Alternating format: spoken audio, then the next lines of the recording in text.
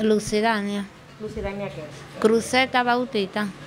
Lucidania, tú denunciaste ante las redes sociales una situación que tiene que ver con tu pareja sentimental. Cuéntanos qué es lo que sucede en realidad.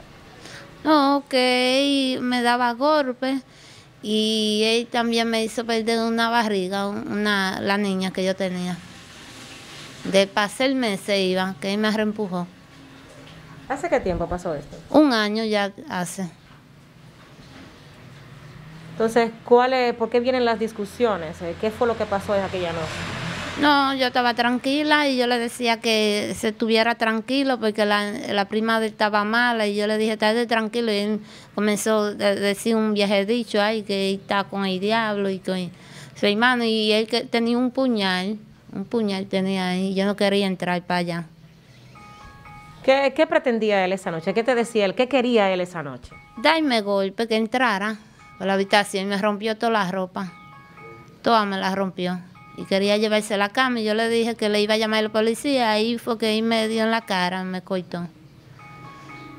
¿Hace cuánto tiempo tienen ustedes eh, juntos? Uh, un año ya.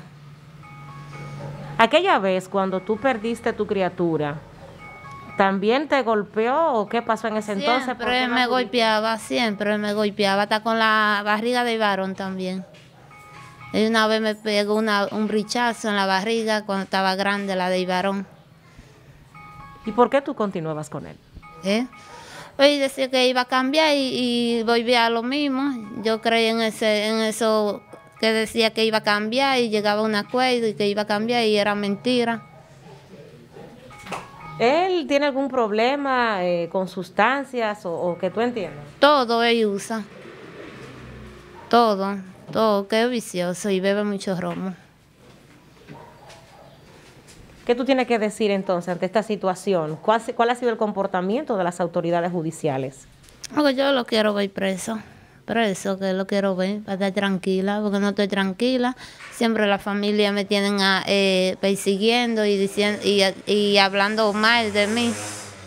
Y van a la casa a, a tragarme, a hablar mal. También una menor también fue allá y yo no, no le pegué porque ella es menor y no salí para afuera, pero ella estaba diciéndome pile vaina, que no, que no lo van a meter preso. ¿Tú temes por tu vida en este momento? ¿Eh? ¿Tú temes por tu vida? Sí.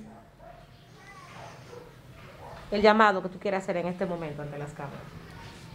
No, que lo metan preso, que yo quiero verlo preso.